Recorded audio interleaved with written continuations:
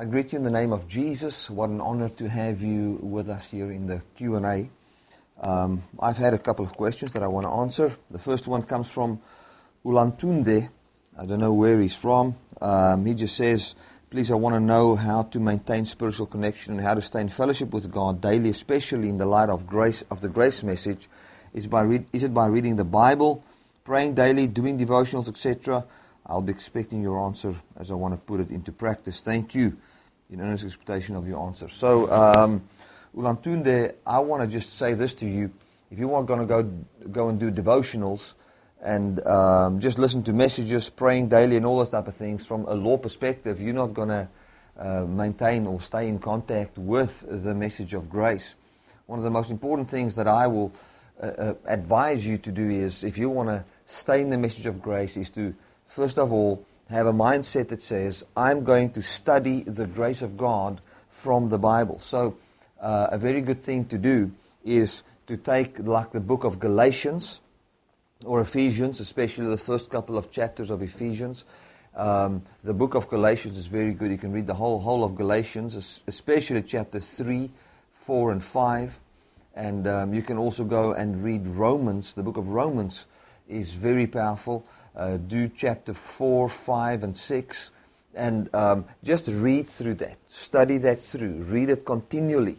And as you read that continually and study it through, you will find that your mindset will become that, uh, uh will, ha- will be a grace orientated mindset. And then from that perspective, I would say, you go and read the rest of the Bible. Um, this Bible is written so that we can see the message of grace. But a man has been designed by God to only see what he believes.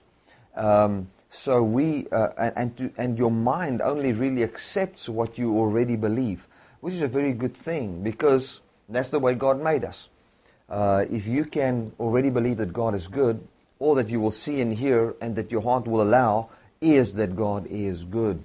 So um, the, the problem with that is uh, th- there's a negative side to that, and that is that once you start to believe that God is bad, and you start to believe that God judges people, puts you through hard times to purify you, and all those negative law based doctrine, and your heart believes that, that's the only thing your heart will allow. So for you to stay, and, and this is the question, please, I want to know how to maintain spiritual connection or how to stay in fellowship with God daily, especially in the light of this grace message. So if you want to stay in connection with God in the light of the grace message, let me just sum this up. Go to, go to Romans 4, 5, 6. Study it out. Make some time. Study that out from the perspective of grace. Before you go and sit down, you say, God, I want to see your grace. I want to see your love in this. When you read anything that doesn't make sense to you in the light of grace and unconditional love, just skip it. Now, you might say, Bertie, but that's not a good way.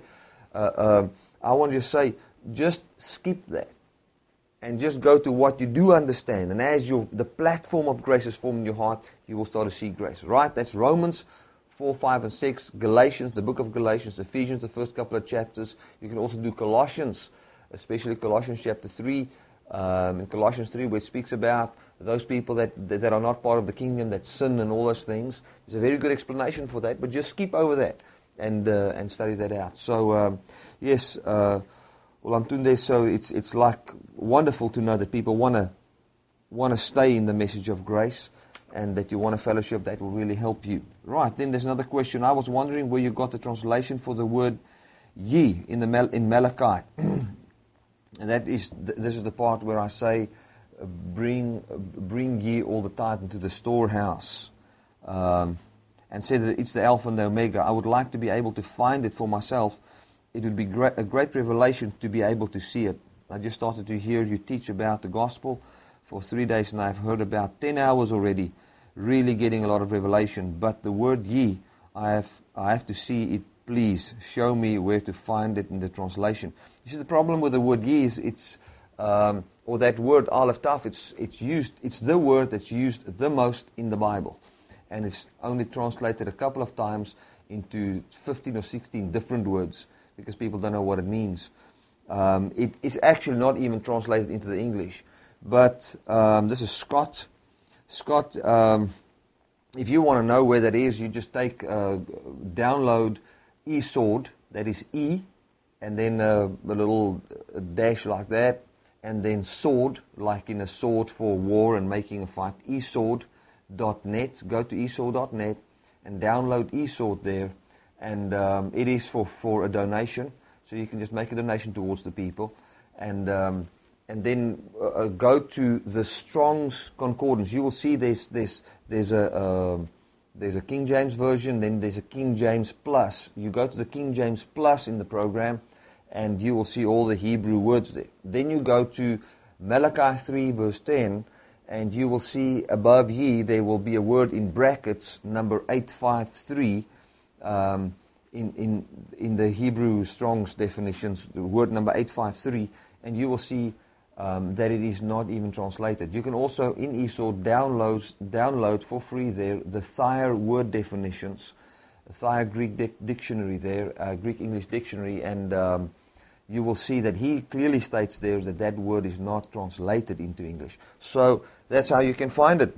Um, you know, sometimes it's a big thing in our minds to hear uh, grace in the area of finances because we've been we've been um, you know so indoctrinated. We want to see it for ourselves. It's good, Scott. See it for yourself. Share it with people. Amen. Then I've had another question. Um, man, I'm sorry I didn't write the, the person's name down here, but it is how should we um, how should a church function financially? How should a church function financially under the message of grace? Because we've always heard tithing, sowing, reaping. How are we going to function financially? How are people going to give towards the church? Now, one thing that I do believe, and this is a thing that God has showed me, is that I should not live in the guilt of other people. Now, what that means is that you, uh, uh, there's been many preachers that has abused people financially through the sowing and reaping and tithing message, bringing great harm to the lives of people. And, um, and, and I don't say they did it maliciously. I don't say that uh, they, they knew that uh, it's wrong, but they just preach it so that they can have money. It is because that's the way people have been preached with sincere hearts. Uh, most of these, these pastors preach. I, I preach tithing and sowing, reaping with a sincere heart believing that the people are going to prosper, it's going to go well with them. And I had their best interest uh, um, in my mind to see them prosper and uh, being blessed. But um, our, our, intent of heart does not uh, uh, guarantee good fruit. Like a child can, for instance, go and the intent of his heart can be to, to, uh, to just play with, with his toys. And he can do it in the middle of the highway and um, he's going to die. Um, in the same way, it happens. It happens. The people's intent are wrong, but the consequence is exactly the same as with the persons whose intent wasn't wrong, uh, most of the time. So, um, uh, out of this, you know, I, I felt so guilty, and um, I didn't want to speak about finances. I didn't want to speak about giving. Um, I wouldn't want to, didn't want to share my vision because I was so scared that it's going to sound like I'm one of those guys that just want money from people and whose vision is just having money from people. But that is not right. I cannot live in the, in, in the guilt of another man. I have not committed that sin um, because we've, I've received Jesus Christ in this area of my of finances, and there's a grace way of giving. Paul comes and he writes to Timothy. He clearly says to Timothy, Tell those that are rich to give. Um, and, and then he comes and he says that he, Paul prays. He says, "I pray that the God, that God, uh, uh, that, that grace is multiplied to you, so that you will have abundance, so that you can give liberally and in abundance." So giving is part of the uh, the, the, New Testament, the way preachers function. Um, and I will wrap this up now. The, the way preachers function in the church is they are people that work and preach, but Paul said that that was not the best way of doing it. He did that just because of people's hardness of heart when it comes to finances in the church in Corinth. Um, and and he, there was other churches that sponsored him and gave to him so that they can go and preach the gospel. So I would say the way a church functions financially is the pastor should be bold, um, take take the message of grace, teach the nature of the believer uh, when it comes to giving, and as people don't even accept Jesus without a preacher as people cannot believe in Jesus without hearing the gospel of grace and function in that, as people don't get healed without hearing the voice of, of the Word of God concerning healing, as people don't receive, uh, uh um, you know, uh, uh, wisdom and things without a preacher, in the same way, they're not going to be givers unless we preach the gospel of grace to them as well. You will find a small percentage of people just do that naturally, but there are people that need teaching. They believe the word, they hear the word, they believe the word, and as they believe, they've got access into the grace, which is God's enablement, so that they can go and and um, and, and be givers and be generous in the kingdom of God. So it's not a manipulative thing. It's not giving to get. It is the teaching of the believer. So uh, uh, of the nature of the believer and the nature of God and what grace brings forth in a person. 2 Corinthians 8 verse 1 says that uh, talks about the church in Macedonia. He says, I, I can testify of how the grace came upon the churches in Macedonia and they gave liberally. So, um, so yes, oh, sorry, I, f- I forgot to put your name down here, my friend. Um, yes, the, the way the church functions financially is the leader or the pastor would preach the gospel. Um, generosity will be worked in the heart of the people, and then those people must respond to the, the feeling of generosity, the feeling of giving, and do what they feel in their heart. And um, if the people struggle to do that, I believe that that pastor needs to teach about that. It's in the very same way as if you see people struggle to live a sexually moral life in your church and they just live together and sleep together and all those type of things, we need to teach about um, w- what marriage is really about and uh, what picture it's all about. And, uh, how, and that will bring forth a power inside people to get married, or if they're in wrong relationships, to, to, to end that. Uh, I wouldn't say just rebuke people for their sin all the time, but teach the, teach the person something that can produce, produce the new life. In the same way, if people don't give in a church, um, there's something wrong because the fruit of the true grace message is we look the bible says look at the grace of god how he was rich and became poor. L- listen to this so that we can become rich. So the grace of god upon jesus was that he would give his life. He would be rich and become poor so that others can be rich. So in other words and then he, he, he, he told the people in 2 corinthians there he says listen look at this that people uh, uh, that G- the grace that was upon Jesus made him to give. So you are now under grace and you know the grace of Jesus. So now this grace abounds to you so the fruit of your righteousness can increase, which is generosity increase in your life. And teach people, just teach people that we should not be ashamed of speaking about finances under the uh, message of grace. And um, with me, I preach that you don't have to tithe to, to, to give. I told people we give out of the abundance of our hearts. But, uh, but there was not a time when I really started to teach my people um, in our church about grace giving. How does grace giving work? And uh, people didn't give. Um, they, they just they wouldn't give. But as I started to teach on this and teach the nature of the believer, uh, we find that the finances definitely increased, and that, uh, that, that I mean the church is blessed, the people are blessed, not because they give, but they're blessed because they know that they're functioning in the generosity of God. So that's basically how it how it functions. And then the the basic other things, I mean, that is just legal stuff. Um, you know, the books must be right. Spend the money for what you promised the people to do it for. Don't cheat the tax man, and and and and that's just normal normal uh, uh, legal stuff. Okay, right. Another question we've got here. Um, uh, this person asked, but I think he didn't put his name on here. Let me just make sure on that. It's one of the Bible school students. Elise sent this to us um, from Canada. Um, she didn't say the name of the person, but he asked and he said, "Is the spirit of a person dead? If he, uh, uh when Adam sinned, did the spirit of a person die, and are all the spirits now alive in the resurrection of Jesus Christ? What happened there?" Now, the first thing that I want to want to say is that uh, uh, a spirit can never die. Even when Adam sinned, the spirit of man never died. I remember, maybe I've said somewhere in one of my teachings, um, but we, a, spirit can never die. Even if you uh, die today and never accepted Jesus, this is my belief that you will forever live in hell. Um, your spirit can never die. So when Adam sinned, his spirit never died.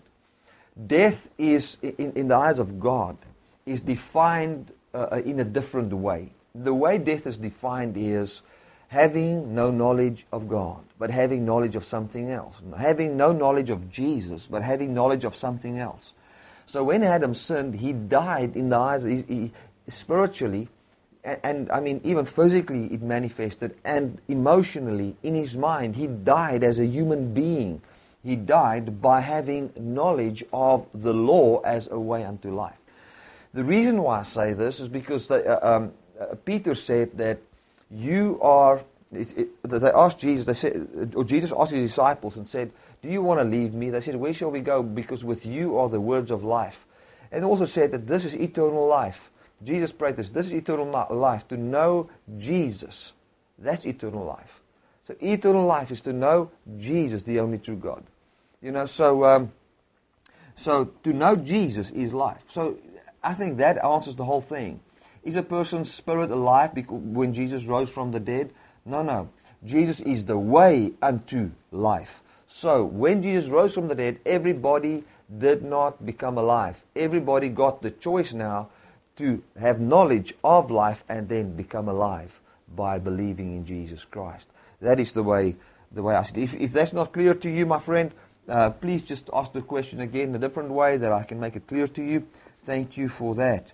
Man, I think that is everything. Okay, then I've got some other questions here, but that's, that is in Afrikaans. Um, asking why certain scriptures, the, the, the question here is why do certain scriptures contradict each other in the Bible? In uh, John 19, Matthew 27, and Luke 23, talking about the account of the crucifixion of Jesus, saying that every, these three, three differ.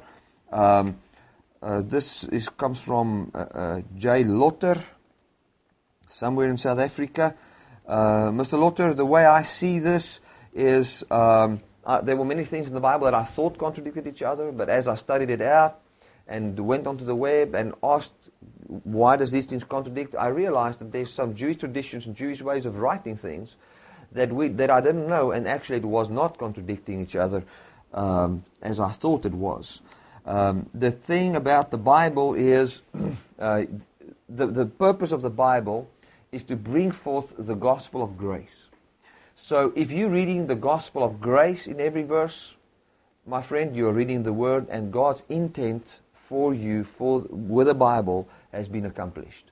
So, um, so many times we, we, we look at scriptures and we look at this one doesn't say exactly like that one, and we get so hooked up into um, why this little thing, and we're missing the gospel. You know, the Pharisees could have had exactly the same argument and saying, but this prophet said this, this prophet said this, and they could have, for years and years and decades and, I mean, thousands of years, they can argue about why these things differ. But what is, what's God's intent with the Word of God?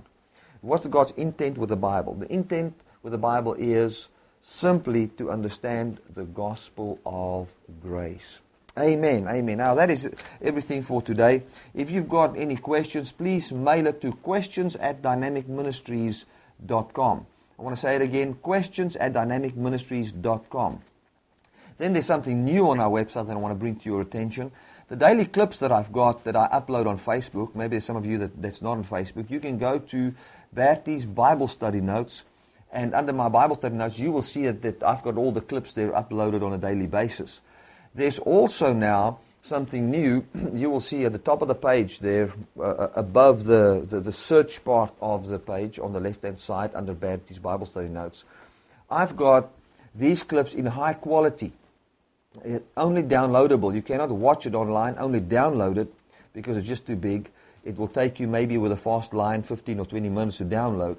But the reason I did it that way is so that you can go and write a DVD from that and use it in cell groups or Bible studies.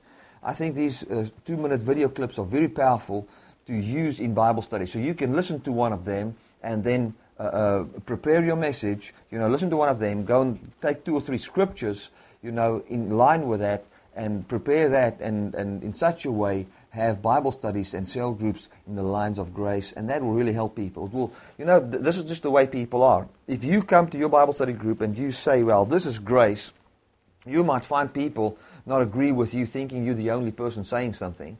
But if you've got an, another guy from the other side of the world um, saying this very same thing, and you see it on a video clip, and they can go to my website and check out more things, and in such a way link up with other grace preachers.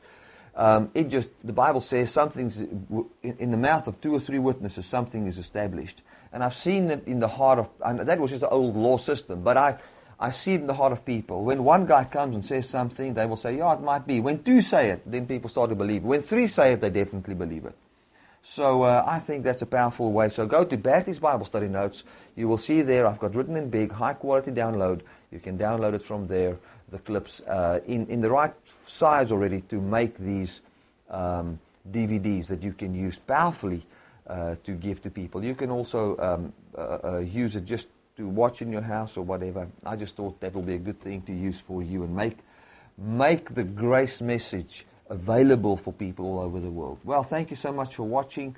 Um, God bless you. Know that you're always loved of God and you can always enjoy the unconditional love of God. Amen.